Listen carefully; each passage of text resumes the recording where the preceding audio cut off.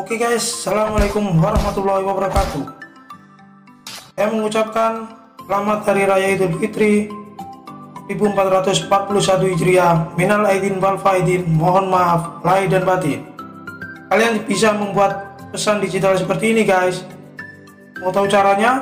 Langsung aja check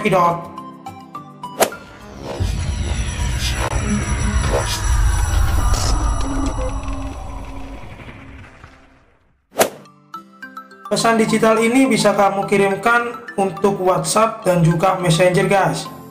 Yaitu dengan mengklik link seperti tadi. Ini adalah link asal kita